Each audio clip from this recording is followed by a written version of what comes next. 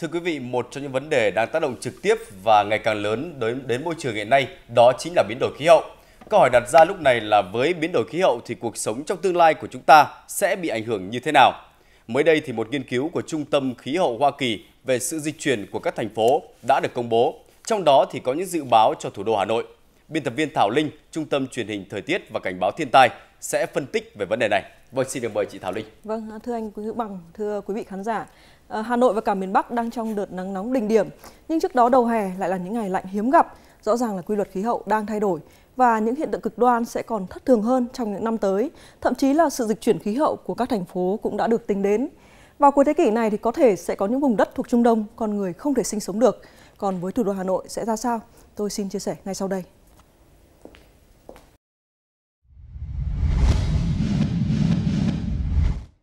Có hai kịch bản được đặt ra nếu như chúng ta cắt giảm lượng phát thải khí nhà kính ở mức trung bình. Đến năm 2100, mùa hè của thủ đô Hà Nội có thể gay gắt giống như New Delhi, Ấn Độ. Nhiệt độ cao nhất trung bình đạt 40,5 độ. Còn nếu như chúng ta không chịu cắt giảm phát thải và với cái đà phát triển như thế này thì đến cuối thế kỷ, Hà Nội có thể giống chảo lửa Faisalabad của Pakistan, nơi nhiệt độ cao hơn là 41 độ. Và thực tế thì giá trị nhiệt lịch sử ở cả hai thành phố đều đạt tới 48 độ. Và hãy cùng xem những hình ảnh thực tế.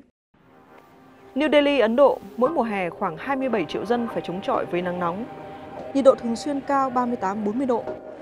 Đợt nóng kỷ lục năm 2015, nhiệt cảm nhận lên tới 50 độ. Nhựa đường tan chảy, người dân đổ dồn đến các đài phun nước. Khốn khổ nhất là ở những khu ổ chuột. Không điện, thiếu nước sạch, người dân phải sống trong các nhà mái tôn tạm bỡ với nhiệt độ còn cao hơn ngoài trời. Pakistan mỗi năm có hàng trăm người thiệt mạng vào mùa hè, nhưng năm 2015 thảm kịch đã xảy ra khi nắng nóng trùng đúng vào tháng Ramadan. Hơn 1.500 người ở nhiều thành phố như Karachi, Lahore, Faisalabad đã tử vong vì nhịn ăn nhịn uống dưới cái nắng như thiêu đốt. Các nhà xác chật cứng thi thể, người sống không đủ tiền để chôn cất những người thân đã mất. Với thủ đô Hà Nội, những ngày đầu tháng 6 cũng đã ghi nhận liên tục những kỷ lục mới về nắng nóng. 41,5, 42, rồi 42,5 độ. Ngày càng xuất hiện nhiều giá trị nhiệt cao hơn trong những năm gần đây. Còn trong tương lai, mùa hè có thể sẽ kéo dài hơn và giá trị nhiệt này sẽ lặp đi lặp lại. Thậm chí là theo kịch bản phát thải cao nhất RCP 8.5 mà Bộ Tài nguyên và Môi trường công bố vào năm 2016, thì đến cuối thế kỷ, nhiệt độ tối cao trung bình năm của Hà Nội có thể sẽ tăng thêm từ 3 cho tới gần 5 độ. Như vậy là không loại trừ khả năng sẽ xuất hiện mức nhiệt kỷ lục sấp xỉ 48 độ. Hãy nhớ, đây là con số được đo trong lề khí tượng, có mái che và cách mặt đất tới hơn 2 mét. Còn nếu như đặt ra giữa trời, cộng thêm với hiệu ứng đảo nhiệt đô thị, thì cảm nhận sẽ khắc nghiệt hơn rất nhiều. Hãy tưởng tượng thủ đô Hà Nội của năm 2100, những tòa nhà cao tầng mọc lên san sát. Khi đó thì những bức tường kính sẽ hấp thụ một lượng lớn nhiệt lượng từ mặt trời. Rồi đường nhựa, mặt đường bê tông cũng sẽ giữ nhiệt. Chưa kể là khói bụi và hơi nóng phả ra từ ô tô, xe máy cũng sẽ khiến Hà Nội giống như một cái lò sấy. Và trời càng nóng thì điều hòa càng được sử dụng nhiều. Nhưng rồi chính hệ thống làm mát này lại thổi khí nóng ra môi trường và làm cho nhiệt độ tăng thêm. Tất cả cộng dồn lại có thể khiến cho nền nhiệt ở vùng trung tâm thành phố cao hơn từ 7 đến 10 độ so với khu vực lân cận. Và tình huống xấu nhất là đến 2100, nhiệt độ ngoài trời mà chúng ta cảm nhận được có thể sẽ lên tới 55-58 độ. Không khí bức bối, ngột ngạt sẽ kéo dài cả về đêm khi mà hơi nóng không thể thoát đi. Và điều kiện như vậy thì sẽ tác động rất lớn tới sức khỏe con người. Theo Cục Thống kê năm 2016 tại Hà Nội, số lao động cố định và lưu động ở ngoài trời lên tới 281.900 người, chiếm 1 phần 10 tổng số lao động trên 15 tuổi, là đối tượng chịu ảnh hưởng nghiêm trọng nhất từ những đợt sóng nhiệt. Nếu nhiệt độ môi trường làm việc vượt quá 30 độ và độ ẩm trên 80%, Bộ Y tế đã khuyến cáo là những người làm việc nặng nhọc ngoài trời như công nhân, thợ xây, người bán hàng rong sẽ phải thận trọng. Ở càng lâu dưới nắng nóng gay gắt mà không có biện pháp bảo vệ, thân nhiệt sẽ tăng nhanh, cơ thể vã mồ hôi, mất nước, nhẹ thì bị chuột rút, nặng hơn là kiệt sức, lả nhiệt, còn nghiêm trọng nhất là đột quỵ, tử vong. Ngay cả những người làm việc nhẹ như nhân viên văn phòng cũng bị ảnh hưởng nếu mất điện xảy ra, không có quạt và điều hòa làm mát. Khi nóng bức kéo dài cả đêm, cơ thể sẽ khó phục hồi. Nhiệt cao khắc nghiệt còn làm bùng phát lây lan các dịch bệnh truyền nhiễm, hô hấp, tiêu chảy, đe dọa các bệnh nhân tim mạch, huyết áp.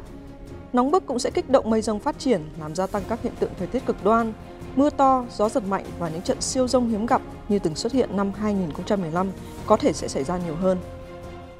Hoàn toàn có thể xảy ra. Nếu như cộng cả hai cái hệ hướng Hiệu thứ nhất tức là cái nóng lên toàn cầu Hiệu thứ hai là cái hướng đẳng thành phố. Và đó chính là một trong những cái thách thức của loài người. Nói chung và thách thức cho dân Việt Nam nói riêng hoặc là Hà Nội và cụ thể hơn rằng là nếu điều đấy xảy ra chúng ta cần phải lường trước được mọi cái khả năng mọi tình huống để ứng phó. Vâng, đang trong đợt nóng lịch sử mà đón nhận những thông tin như vậy quả thật là đáng sợ. Chúng ta cần phải làm gì để chuẩn bị cho tương lai?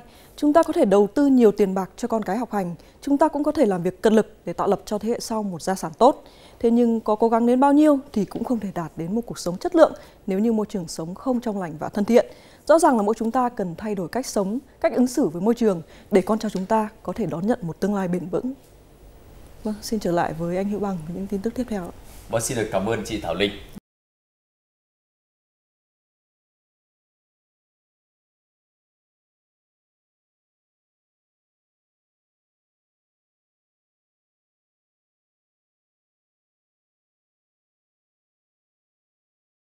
Los impactos del cambio climático ya son una realidad en las ciudades, donde se genera el 70% de las emisiones totales de gases de efecto invernadero.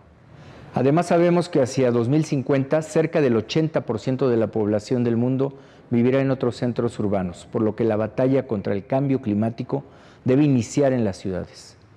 De no tomar acciones ahora, las consecuencias podrían ser catastróficas para el medio ambiente y se afectaría en gran medida la calidad de vida de todos los habitantes del planeta. Afortunadamente podemos evitar que estos escenarios se vuelvan una realidad. Cada vez son más las ciudades del mundo que han asumido el compromiso y la responsabilidad de tomar acciones concretas para hacer frente a este reto.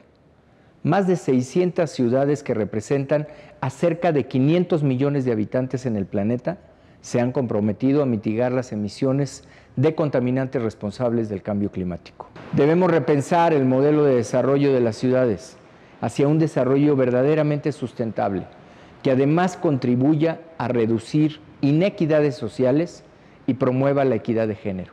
Invito a las ciudades del mundo, a los ciudadanos, a trabajar juntos por un futuro sustentable, resiliente y bajo en carbono. Estoy convencido de que con acciones locales podemos alcanzar metas globales y lograr un mundo mejor para nosotros y para las siguientes generaciones.